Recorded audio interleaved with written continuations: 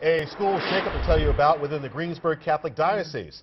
First, a beloved principal is let go. And now more cuts. Channel 4 Action News reporter Ashley Hardway tonight with the move meant to ease frustration for parents. The Greensburg Diocese bishop said the dismissal of the superintendent came after they reviewed recommendations from an independent consulting firm they hired. The move also comes just two months after the letting go of the beloved principal here at Greensburg Central Catholic.